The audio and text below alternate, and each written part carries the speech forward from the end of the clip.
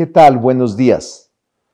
A escasos cuatro días de este acontecimiento histórico donde una mujer asumirá por vez primera en la historia de México la presidencia, nos estamos preparando para esa ceremonia, sin dejar nuestras obligaciones y deberes como maestro universitario en la UNAM.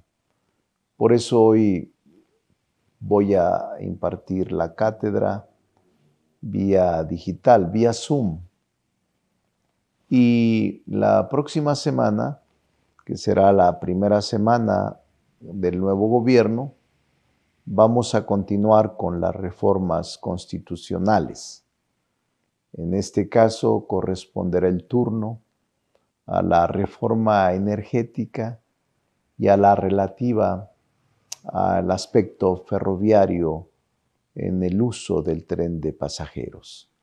Seguramente también la presidenta constitucional enviará un paquete de iniciativas que vamos a estar esperando qué decisión toma para su envío a la Cámara de origen, sea la nuestra o el Senado de la República. Buenos días.